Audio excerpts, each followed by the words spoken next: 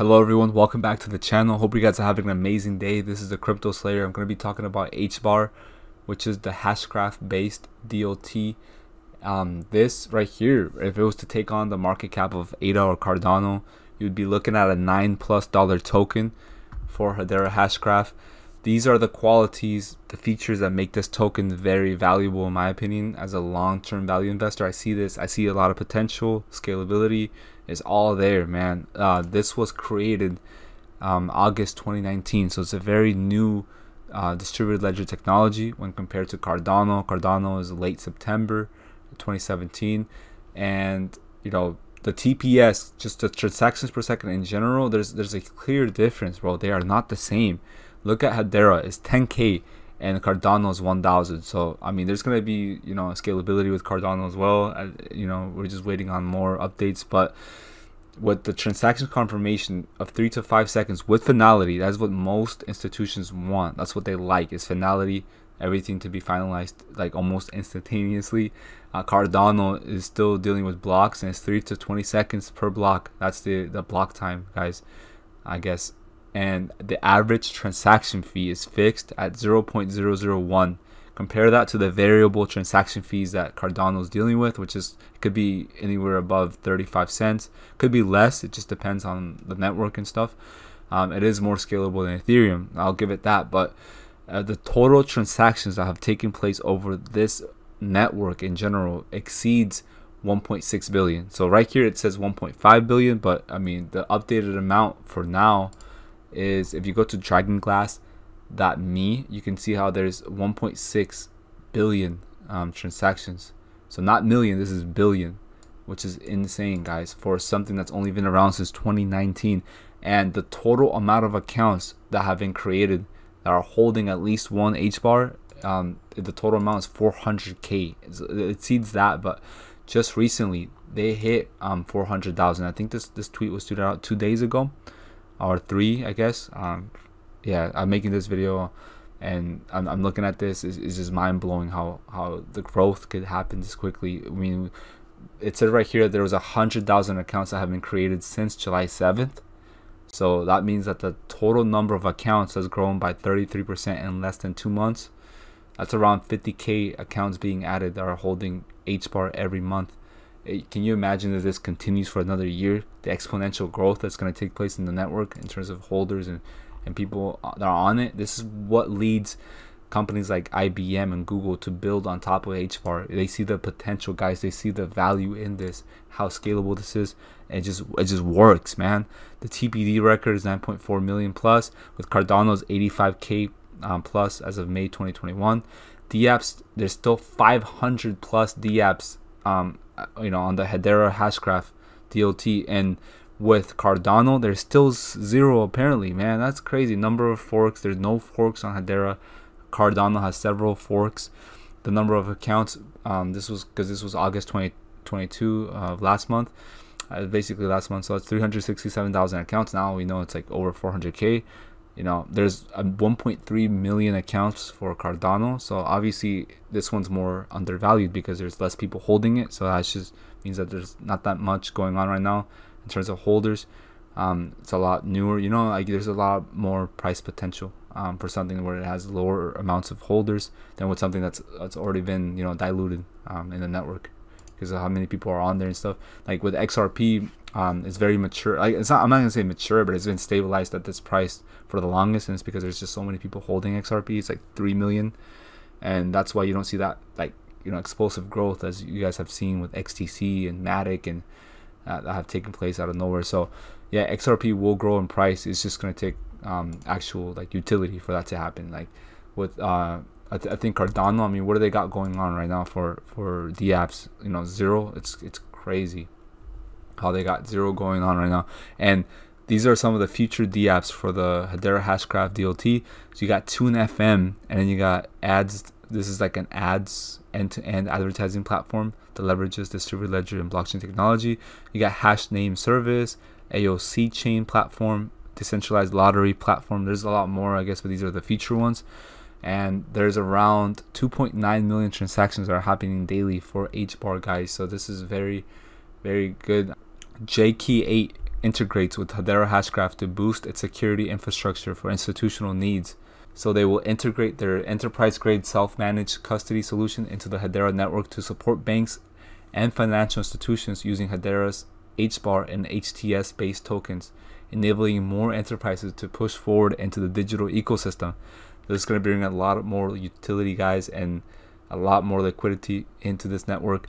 Um, with the, with an ability to process 10,000 transactions per second, that's HBAR, asynchronous Byzantine fault tolerant security, and its world-class governing council, that Hedera network is already one of the world's most used public distributed ledger networks, it's been around since 2019, bro. I can't stress this enough. With Avery Dennison, Boeing, you got Chainlink Labs, Dentons, Deutsche Telekom, um, you know EDF, you got FIS, Worldpay, Google, IBM, LG Electronics, Magalu, Nomura Holdings, Shinhan Bank, Standard Bank Group, and on and on. Um, you know, these are all uh, they're all part of the you know Hedera governing council. So they're all working together, guys, to to make use of this distributed ledger technology to improve the world and the economy. But these are the HBAR supported wallets. So if you're looking to hold HBAR away from exchanges, then Exodus, Atomic Wallet, the Nano Ledger Exodus are also good, obviously. But um, you know, I always I always recommend like you know cold storage wallets. They're a lot better, and and you know you're a lot safer with your funds. So this is just July 30th, guys. This is literally a month and a couple days ago. But there was 1.4 um, you know, almost 1.5 billion transactions that had taken place over the Hedera Hashgraph network, and you know now it's a little over 1.6 billion. So very soon at this growth, by the end of this month, I mean we could probably have anywhere around 1.7 to 1.8 billion happen.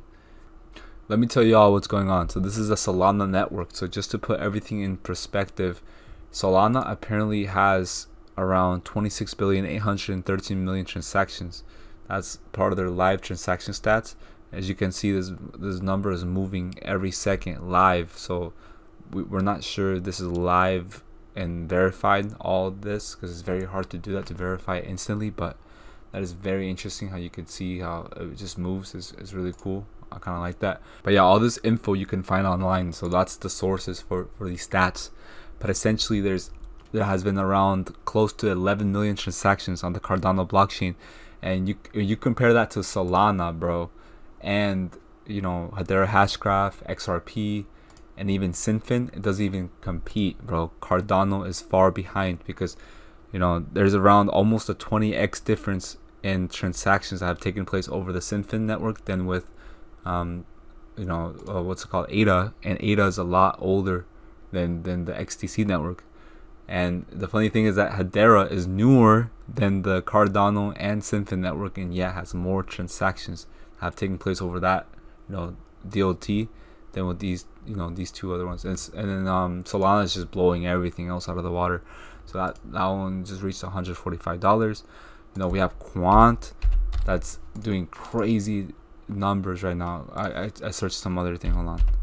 I, mean, I hate when I'm searching like a token or whatever on CoinMarketCap and it gives me something else. But yeah, this is $329, guys. I told y'all on my community post that Quant was gonna go absolutely crazy in September. It was it was already written stone, basically. I was just putting it. I was just putting the word out. Okay, I was just uh, warning you guys. I mean, it, I mean, the whole market cap doubled in literally a week since I, or a week and a half since I made that community post. It's ridiculous. Um, you know, everyone knew this was happening around you know the quant community. So I just wanted to make sure that any of my subscribers had a heads up for at least a week, you know, before that happened. But DAG guys is going to be massive this year as well. Constellation is uh, down 10%, but I believe in this project long term. Now you got ALBT, which I talked about on my channel when it was 45 cents. Now it's a dollar and 31 cents, so a dollar later basically. So Alliance Block is already a 300 million dollar market cap token. The volume is reaching 20 million on the daily. So this is a gem, in my opinion. Is partnered with Quant, so it doesn't get any better than that. The use cases for Alliance Block will blow your mind if you haven't already seen it. I've already made a video on my channel, so check it out, guys. It's approaching 3,000 views.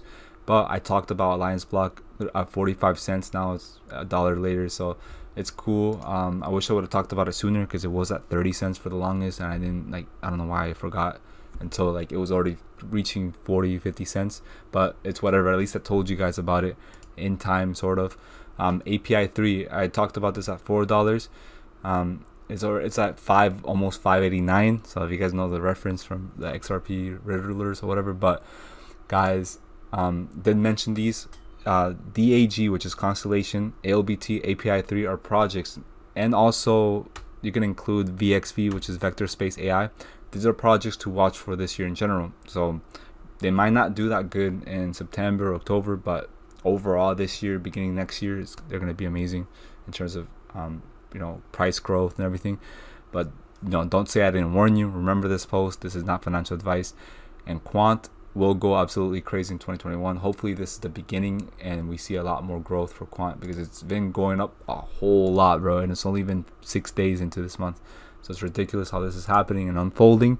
But um, I did talk about the Overledger a month ago on my community post. Um, here I said how this is going to be operating and functioning like an operating system, sort of like Windows. Uh, it's going to connect legacy systems, uh, existing permission and permissionless blockchains and networks together. And it, it's going to allow for interoperability between the Corda, Hyperledger, and Ripple platforms um, to become seamless basically. So if any bank wants to connect to Ripple, it can do so with the Overledger API. And the IMF, World Bank, and BIS, they all came out and said that CBDCs or central bank digital currencies need to be interoperable.